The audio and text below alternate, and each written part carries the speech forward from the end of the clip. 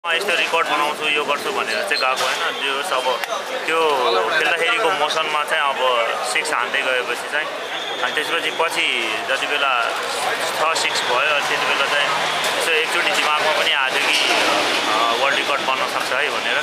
अनि त्यसपछि फेरि त्यो गर्दै गएपछि चाहिँ भयो अनि भित्रैदेखि एकदमै खुसी लागिरहेछ वर्ल्ड रेकर्ड भनेपछि टिम जुन अब टिम साथीहरूको रियाक्सनहरू होइन? ड्रेसिङ रियाक्सन चाहिँ कस्तो थियो?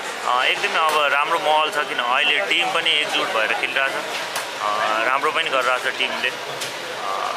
सबैजना एकदमै खुसी थियो। मैले रेकर्ड बनाउँदाखेरि चाहिँ सक्दम सबैजनाले कङ्ग्रेचुलेसन भनेर सबजना one of your best innings भनेर भन्नु मिल्छ यसलाई कसरी कसरी सम्झिनुहुन्छ आफ्नो करियरको यो लामो करियरमा चाहिँ यो वर्ल्ड रेकर्डलाई चाहिँ कसरी विश्लेषण अब कीर्तिमान चाहिँ कीर्तिमान चाहिँ बनाएको छ अब त्यही भएर बेस्ट नै भनौँ इन्डियासँग दुई बेला लगातार तिन छक्का हान्न थियो होइन के थियो माइन्ड छ त्यति बेला चाहिँ अब माइन्ड चाहिँ त्यो रन कसरी चिज गर्ने भन्ने कुरामा थियो अब त्यो त्यो ओभरमा चाहिँ अब कति रन निकाल्न सकिन्छ र अगाडि कसरी बढ्न सकिन्छ त्यसपछिको ओभरमा कति रन आयो भनेर त्यो क्यालकुलेट गरिरहेको थियो दुईजना।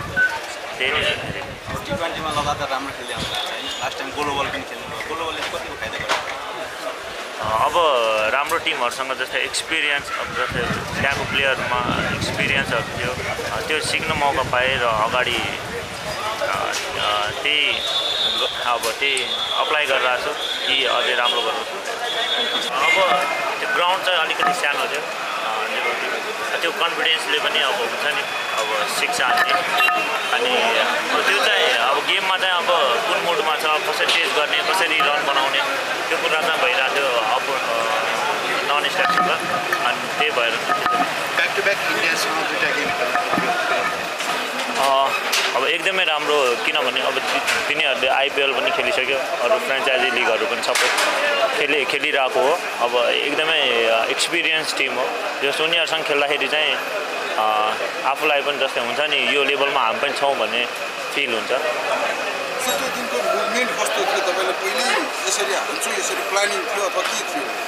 त्यस्तो प्लानिङ चाहिँ केही पनि थिएन। अब सिचुएसन अनुसार हो। त्यति बेला चाहिँ अब एघार बल हुँदाखेरि चाहिँ गएको थियो ब्याटिङमा अब मैले सोचेको थिएन चाहिँ यसरी अ, यस्तो रेकर्ड बनाउँछु भनेर जे खेल्दै गर्दाखेरि अब सिक्स हान्दै गएपछि अनि चाहिँ लास्टमा चाहिँ आफ्नो त्यो बनाउन सक्छु भन्ने फिल आयो र भयो भने पछि जस्तो इन्डिया जस्तो टप टिमको लागि अबको प्लान के हुनसक्छ तपाईँले एउटा रेकर्ड ब्रेक गर्ने अ, अब त प्लान भन्दा पनि अब जे गरिरहेछ हामीहरू जस्तै क्याम्पहरूमा नेट प्र्याक्टिसहरू कसरी गरिरहेछौँ त्यहीमा चाहिँ अझै फोकस गर्ने के के गरेर चाहिँ राम्रो भइरहेछ हाम्रो त्यो चाहिँ अझै राम्रो बनाउने र टिम वर्क अहिले राम्रो भइरहेछ त्यसलाई चाहिँ कायम राखेर चाहिँ अगाडि बढ्ने त्यही नै